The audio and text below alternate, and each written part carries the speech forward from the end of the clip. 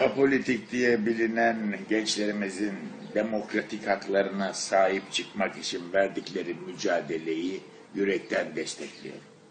Onların üzerindeki ölü toprağının kalkması ile artık bir şeylerin daha güzel olacağı umudunu taşıyorum. Diren Gezi Parkı, diren. Çok güzelsiniz. Çok güzelsiniz çocuklar.